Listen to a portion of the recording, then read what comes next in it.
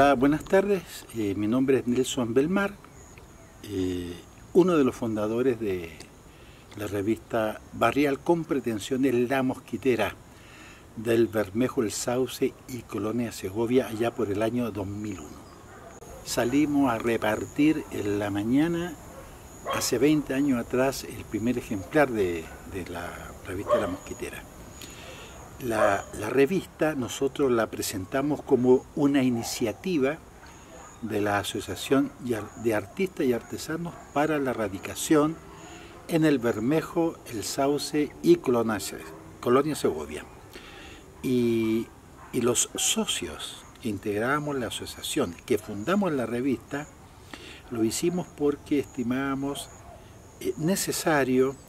eh, generar un vínculo entre los vecinos nuevos que venían llegando a esta zona a radicarse en el marco del proyecto de artistas y artesanos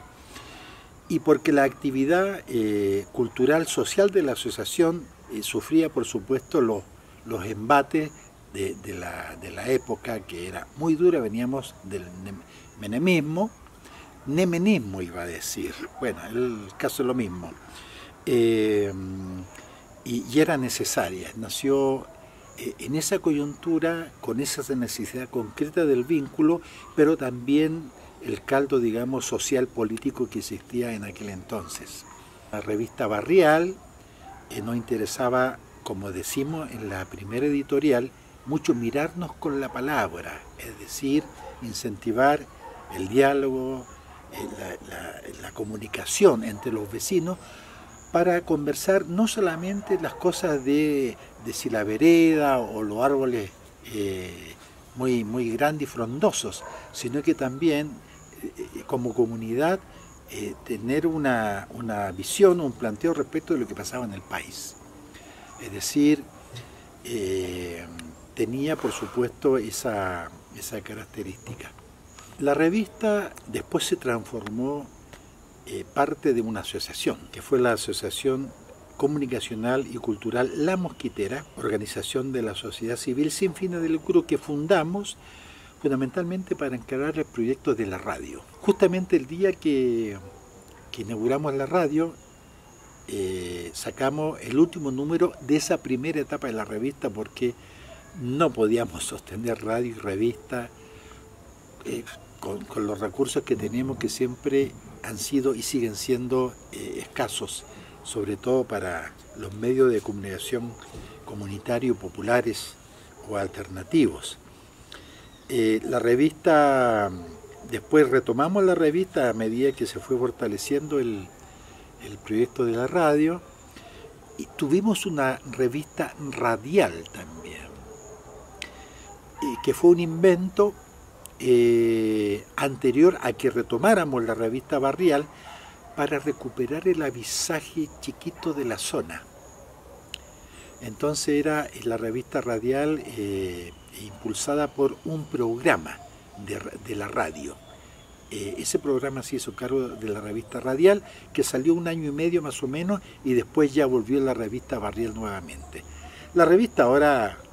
tiene otro formato, tiene color, eh, sigue siendo por supuesto parte de la asociación,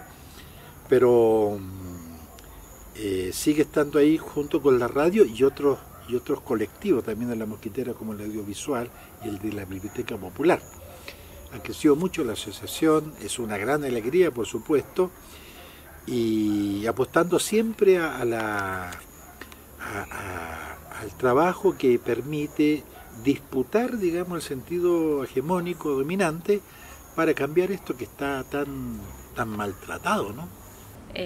La, revista hoy por hoy está por sacar su número 157, una revista que se ha sostenido en su publicación mensual con algunos, algunos espacios de, de publicación, pero sí con el carácter colectivo en su construcción y en su distribución también de forma gratuita. Bueno, la, versión en papel sigue sosteniendo su tiraje de 2.000 ejemplares gratuitos.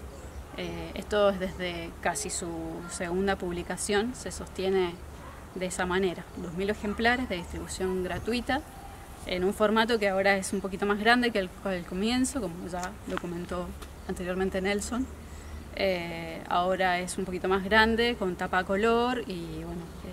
mucho contenido que quizás se expande a lo barrial, intenta también replicar lo que sucede en otras partes del mundo y cómo replica eso en nuestra comunidad y bueno, todas las voces también tienen su espacio. Bueno, en la actualidad la mosquitera se suma a su plataforma de papel, eh, lo digital, en esta era de las comunicaciones, de las redes, y se, puede, se transmite o se, se distribuye también a través de las redes sociales, a través de los WhatsApp de los distintos integrantes de los colectivos y a través de la página web www.lamosquitera.org. Allí se va publicando las distintas notas que aparecen en la, en la revista y también la revista completa que se puede descargar. Además se distribuye por mails y bueno, intentamos de esa manera eh, ir, incrementando las posibilidades para que les llegue a todas y todos. Bueno, lo, más destacado de, de, la experiencia en este transcurso de estos 20 años es que la mosquitera se sostiene en su trabajo colectivo, horizontal, democrático, abierto y participativo desde sus inicios y creo que esa es una de las, de, los, de las características que la destaca como experiencia dentro del terreno de la comunicación popular, al menos aquí en Mendoza. Necesitamos medios populares y comunitarios que nos permitan tener otra campana respecto de las cosas, por qué suceden las cosas. y, en el caso de los comunitarios, no solamente referido al tema de las cloacas, las veredas y las calles, sino que la vida misma, la sociedad,